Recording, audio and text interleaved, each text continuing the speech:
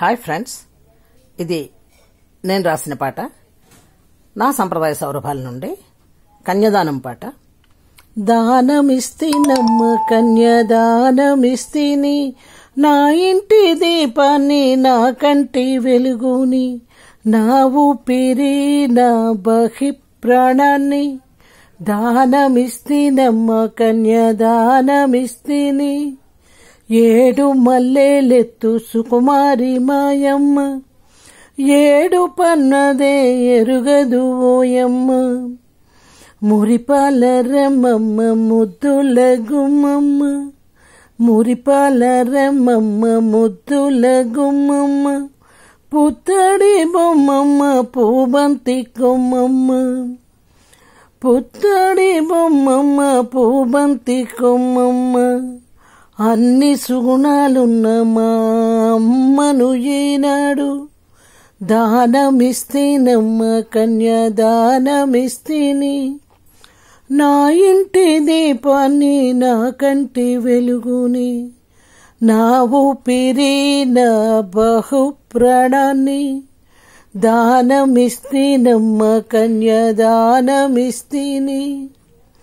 మమతలు పెంచేటి మగువ మాయమ్మ.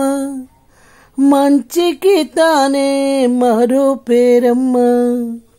మర్మ మెరుగని మహారాణి మాయమ్మ. మాట విలువ తెలిసి మసలు నోయమ్మ.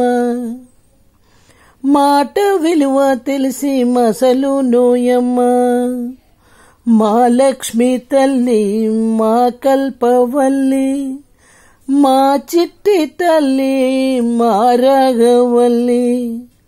అన్ని సుగుణాలున్న మా అమ్మను ఈరోజు దానమిస్తేనమ్మ కన్యాదానమిస్తేని. మా ఇంటి దీపాన్ని మా కంటి వెలుగుని మా ఊపిరి నా బహుప్రాణాన్ని. దానమిస్తేనమ్మ కన్యాదానమిస్తేని ఆడపిల్ల. ఈడ పిల్ల కాదు ఆడపిల్లే అని తెలిసినప్పటికీ ప్రతి తల్లి తన కూతుర్ని అత్తవారింటికి పంపించేటప్పుడు తన ప్రాణాన్ని వేరొకరికి ఇస్తున్నట్టుగా బాధపడుతుంది. ఆ బాధ ఒకరికి చెప్పుకునేది కాదు. పెళ్ళి చేయాల్సిన బాధ్యత ఉన్నప్పటికీ తండ్రి కూడా అంతే బాధపడతాడు. వదినలు తోబుట్టువులు ఉన్నా అంతే మరి.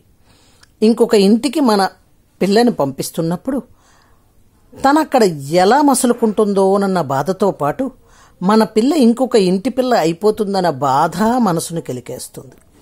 ఆ తరుణంలో మనం అమ్మాయిని ఎలా పెంచామో అమ్మాయి ఎంత మంచిదో చెప్పాలన్న తాపత్రయం. కానీ కన్యదాన ఫలం అనేక యజ్ఞాలు చేసిన ఫలంతో సమానమని తల్లివైపు తండ్రివైపు పది తరాల వారు నరకం నుంచి ఉద్ధరింపబడతారని చెప్తారు. వరుణ్ణి లక్ష్మీనారాయణ స్వరూపిణిగా తలచి కాళ్ళు కడిగి పూజించి కన్యదానం చేయడం ఆచారం.